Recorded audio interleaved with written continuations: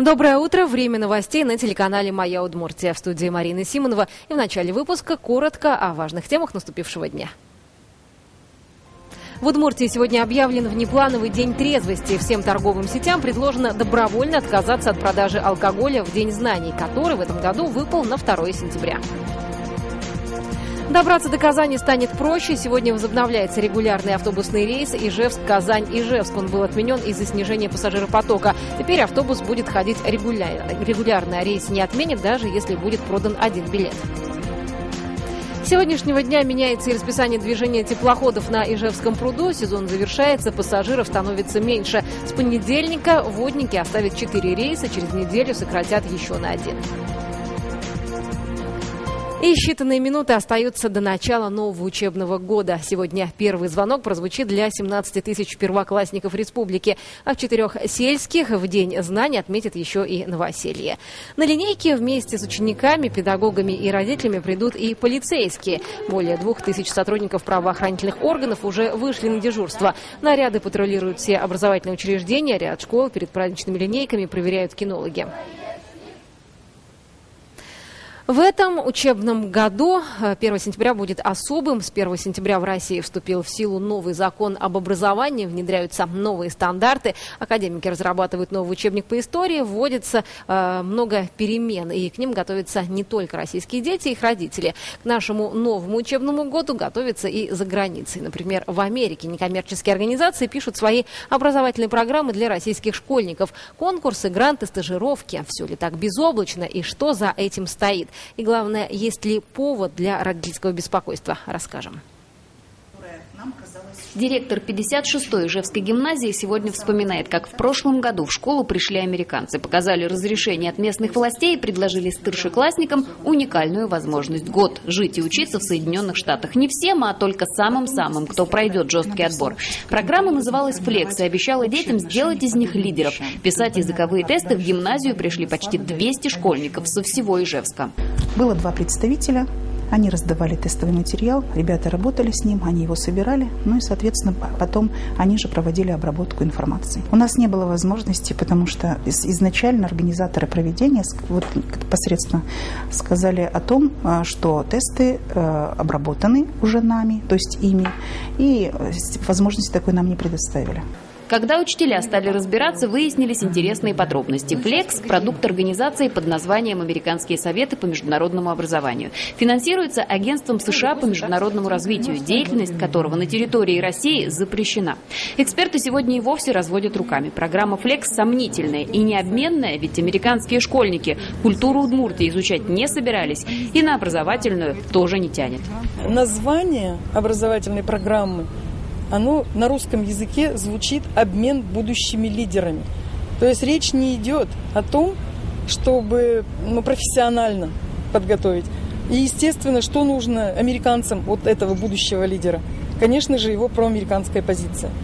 И там э, такой обучающей составляющей, она косвенно звучит. Теперь выпускники американских образовательных программ с благодарностью впитавшие навязанный образ супердержавы жить на родине не хотят. Студент Руслан уверен, американцы – вот нация счастливчиков. В принципе, это те же русские, просто, наверное, в какой-то момент им больше повезло. Мне скажут, Руслан, езжай в Америку, либо оставайся здесь. Вот мы тебе даем деньги, и ты езжай в Америку.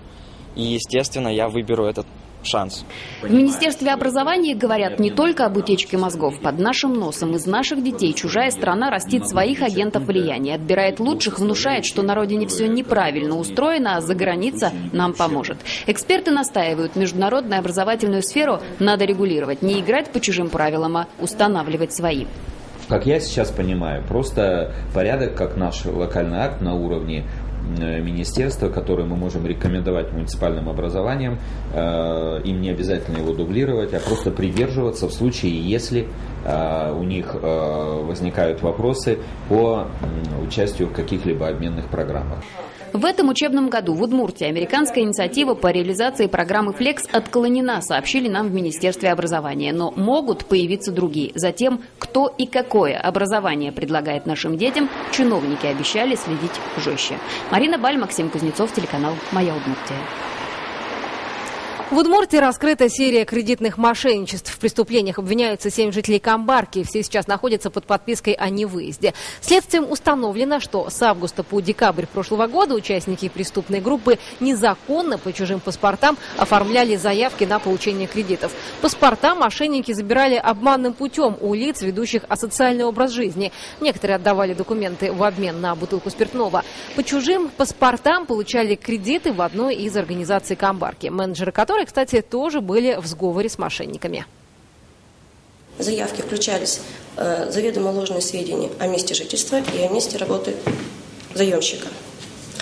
Преступники достоверно знали, что выплаты по договорам займа выплачиваться не будут. Чтобы не вызвать вопросы со стороны службы безопасности кредитной организации, они, начали, они вносили первоначальные взносы всего мошенники оформили более 200 кредитов, получив по ним почти 4 миллиона рублей. Впрочем, фактов может быть и больше. Полицейские еще продолжают работу по выявлению аналогичных преступлений. На Ижевском водоканале подстраиваются под сезонные изменения. Пруд снова заполонили сине-зеленые водоросли. Их стало больше в три раза. Мы э, обрабатываем воду углем, добавляем перманганат калия. Кроме этого добавляем дозы реагентов, которые несут на себе нагрузку по очистке воды в целом. Меняем, конечно, режимы технологические на станциях, моем чаще отстойники, промываем чаще фильтры, вот, снижаем дозы хлора, где это возможно. Такая активность водорослей сезонная. Их размножению способствует теплая и сухая погода. Если количество бактерий еще вырастет, объем питьевой и прудовой воды сократят до 20 кубических метров в сутки, компенсируя это ресурсами Воткинского водохранилища. Краснокнижные растения, кедровый бор, четыре пруда. В Камбарском районе может появиться новый туристический маршрут на территории урочища Валяй. Сейчас это излюбленное место отдыха горожан. С флорой и фауной сюда приходят знакомиться дошколята. Но первыми еще 30 лет назад в лесную глушь забрались волонтеры. Это им удалось восстановить заповедные места. Пруд словно с полотен Воснецова. Кажется, только что на берегу сидела Аленушка. Среди трав проглядывают краснокнижные орхидеи и талмасы. В чаще прячутся лоси, в воде бобры. Бобры же любят чистую воду, а здесь чистая вода. Родники же. Это место, урочище Валяй, расположено в шести километрах от Камбарки. С десяток лет назад заповедные леса были заброшены и забыты. Разив Мирзаянов вместе со своими друзьями появился здесь в далеком 75-м и попытался навести порядок в лесной глуши. Высадили здесь несколько кедров, вручную восстановили этот пруд, назвали его Тополинный. Выкосили траву, но нашелся браконьер, поставил тут сети и повредил плотину.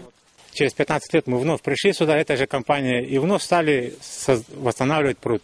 Опять же начали с этого тополиного. Вычистили дно, берега, спилили деревья, чтобы вода поднималась. Приехал трактор, все засыпал. Сейчас сюда, как на экскурсию, Разив приводит камбарскую малышню. Детсадовцы от этих уроков биологии на выезде в восторге. Местные жители частенько приезжают отдыхать в лесную глушь.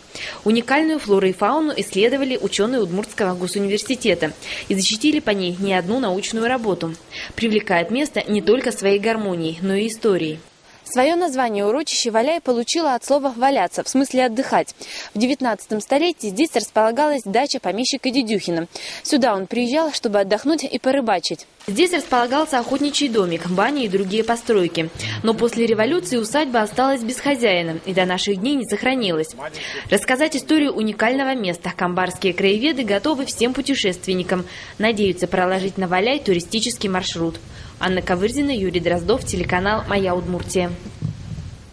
Бурановские бабушки сегодня попробуют себя в роли экскурсоводов. Они покажут участникам международного фестиваля зоопарк и музей Калашникова. У артистов всего один день на отдых. Завтра они примут участие в фольклорных праздниках, которые пройдут в Завьяловском, Воткинском и Киясовском районах республики. Сегодня наступление информационных технологий, наступление, э, не знаю, там, опутывания сетей интернет – как сохранить эту э, удивительную крупинку э, отношения к культуре? Вот это вот, вот на это направлен фестиваль. И у нас, конечно, действительно уникальная возможность э, то, что называется вживую, пообщаться и с людьми, посмотреть на костюмы, ощутить красоту языка, Планируется, что фестиваль станет регулярным. С датой следующего праздника еще не определились, но планов у организаторов уже немало. Один из них – создание бурановского гимна. Представители разных стран, каждый на своем родном языке, исполнит песню, которая станет визитной карточкой праздника. И это пока все. Удачного вам дня. Итоги подведем ровно в 7 вечера. До встречи.